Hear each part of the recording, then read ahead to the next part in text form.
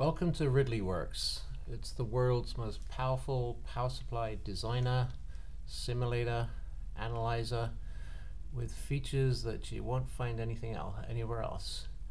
We've taken all our knowledge from decades of designing power converters and put it all in one place, convenient place for you to design and analyze much quicker to move from specification to your first prototype faster than ever before.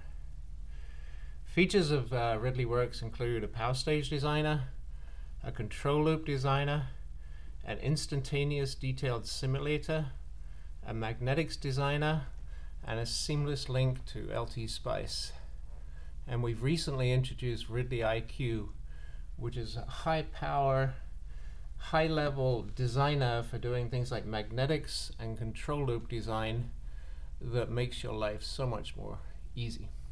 So let's begin with the design. Today I'm going to show you just two things.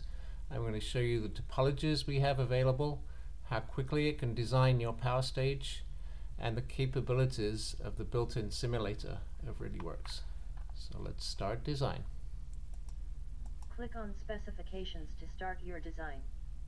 You will notice as you go through RidleyWorks that it will actually talk to you. It will give you advice on what to do next, what part of the converter is to be done, and help you with your navigation through the system. So the first thing I want to show you, right here you can see there's a topology already up on the screen which is a classic flyback converter. And the specifications for this are 36 to 60 volts input, 12 volts, 5 amps output. And anytime you're looking at a converter, you'll be able to see waveforms of the converter.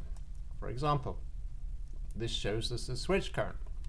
And here you can see many, many cycles of switch current. And there's too many to see clearly on the screen, so we have a time base adjuster, just like your oscilloscope. So if you turn down the time base, you see more cycles. So here they're crammed in so tight that you can barely plot them on the screen.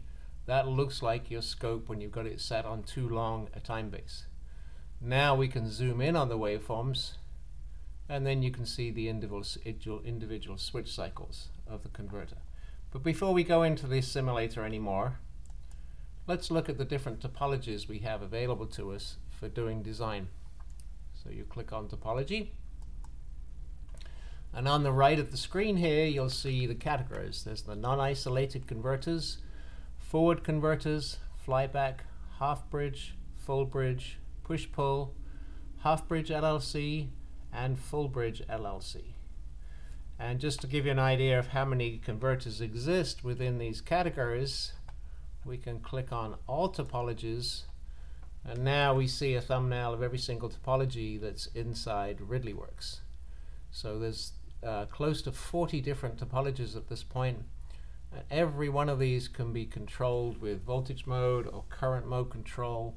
You have full flexibility over the control parameters and you have full design capability for the magnetics for all of these converters. So we're doing a tremendous amount of work for you to help you in your design process. Now let's look again. Let's try a different topology. Let's go with the non-isolated, and we'll start with the simplest converter of all, which is of course the buck converter. So if you click on the buck converter, it will tell you what's going on.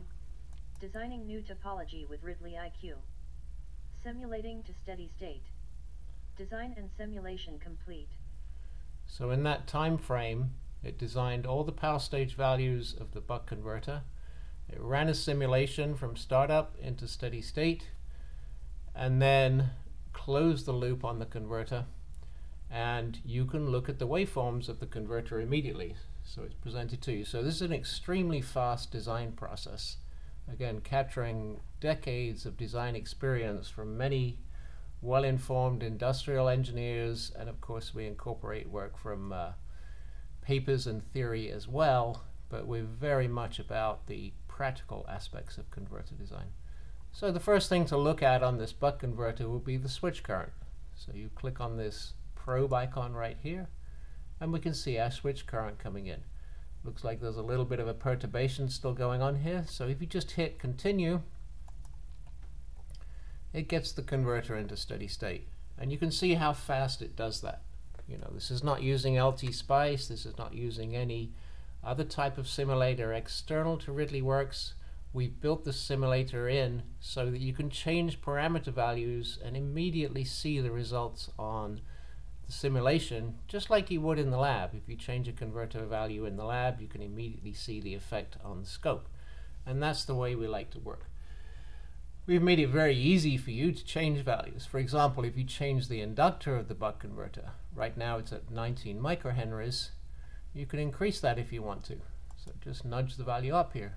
And you can see when you do that, immediately the ripple current changes on the switch. All right. So you can change the value as you wish on this inductor, and then you can see the effect of that on the waveforms. Now we'll go ahead and reset that back to where it was and hit continue to get it into steady state and there's our converter operating at the default operation. Now let's look at the output voltage of the converter. So here is the output voltage. Now let's look at this on a much longer time scale because we want to put some transients on the converter. So here's a buck converter operating and there's 800 cycles going on right here. Let's put a step load on this.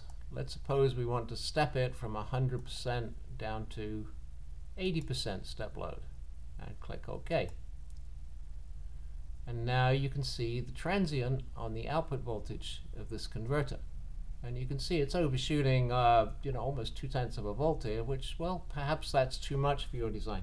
So this is an optimized control loop for the converter. And this is part of the equation for how we're going to choose the capacitor value. We have to do it through large signal simulation here, not through just calculations of what the cap should be. So suppose, suppose we want to reduce that overshoot voltage. We want to get it down to maybe 12.1 volts overshoot. So all you need to do for that is just to increase the output capacitor. So here we can see it dropping each time that capacitor value increases in value.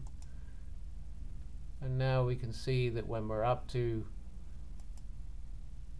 116 microfarads on the output, then we've got our overshoot down to about 100 millivolts on the step load. So this is the power of RidleyWorks. You can really choose these values, like the, the capacitor value and the inductor value, and you see the real world effect. Now every time I'm clicking to change that capacitor, it's changing the control loop at the same time to make sure that we have an optimized control system for the converter. We can change the input voltage from 36 volts input up to 60 volts input. And you don't see much happening there because the converter is busy regulating itself and right now it's actually using current mode control. So the perturbation from input to output is almost negligible in this case. So that gives you an idea of the simulation waveforms of the converter. And we'll do just one more thing to show you how fast it is and to show that it's really going live. We'll change to a flyback converter here. Click on Designing the flyback. topology with Ridley IQ. Simulating to steady state. Design and simulation complete. So it's already finished designing the entire flyback for the same set of specifications. Uh, the sharp-eyed amongst you may notice that the frequency dropped down when it went from a buck to a flyback. The program knows it's more challenging, so the switching frequency went down from 250 kilohertz to 166 kilohertz. And now we can look at the waveforms on the flyback converter. Let's zoom in so we can see them clearly. So here we are on the flyback waveforms. You can see this is actually a continuous mode We'll get it into steady state. If you want to explore running the converter in different modes, you can reduce the value of the inductor, watch the ripple current climb, and you can see right around this point here, it's always turning on at zero current. So now we've got that converter operating in discontinuous mode all the way. So it's discontinuous mode at 36 volts input, and of course it will be discontinuous mode at the highline input as well. So this just gives you an idea of the simulation capabilities of RidleyWorks. Shows you how quickly you can change from one topology to another. And you can explore many different design options very very quickly much faster than any other design methodology might get you. So the built-in simulator really gets you there quickly and the built-in topologies you know cover pretty much everything that's used in the industry. And there we are for our topologies and the simulation. Later on we'll have another we'll have another um, recording of how we start using the other features of RidleyWorks including the control design the magnetics design and where Ridley IQ comes in with doing the more advanced features of designing converter. Thank you for watching. If you have any questions, please send emails to info at ridleyengineering.com or you can go to our website ridleyengineering.com to find out how to purchase RidleyWorks.